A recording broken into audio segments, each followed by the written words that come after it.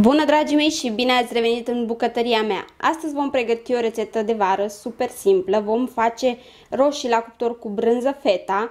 Pentru această rețetă avem nevoie de 4-5 roșii tăiate bucăți potrivite, 2 cepe tăiate felii, 300 de grame de brânză feta, eu am tăiat-o cu bulețe, sare, oregano, piper, ulei și aproximativ 200 de grame de măsline.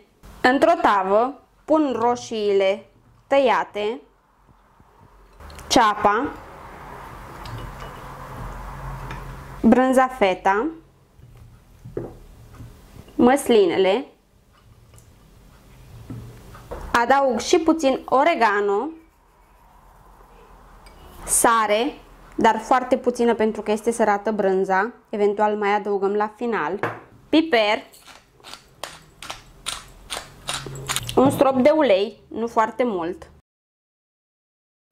Amestec totul și pun tava la cuptor. Cuptorul l-am preîncălzit la 200 de grade și voi găti roșiile cu brânza feta pentru aproximativ 25-30 de minute. Aceasta este rețeta de astăzi, sper să vă placă, să o încercați și voi pentru că este delicioasă. Eu vă pup și vă îmbrățișez cu mare drag și ne vedem data viitoare cu noi rețete. 爸爸